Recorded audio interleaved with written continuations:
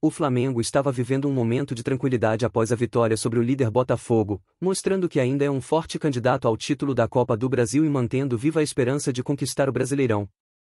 Além disso, Jorge Sampaoli, que estava sob pressão, ganhou um respiro com sua estratégia acertada no último jogo.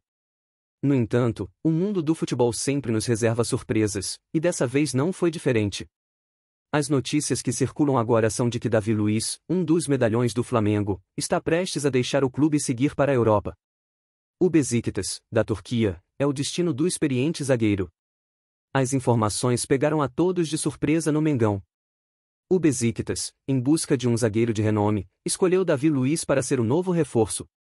O acordo entre o jogador brasileiro e o clube europeu já estaria apalavrado, com um contrato de dois anos em vista. Davi Luiz, cujo contrato com o Flamengo termina em dezembro deste ano, parece estar com os dias contados no rubro-negro.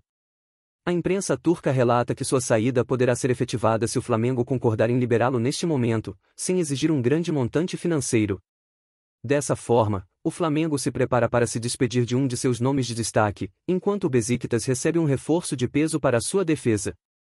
A torcida rubro-negra ficará na expectativa para ver como o clube vai lidar com essa inesperada reviravolta no mercado da bola. O futebol sempre nos reserva surpresas, e essa é mais uma delas.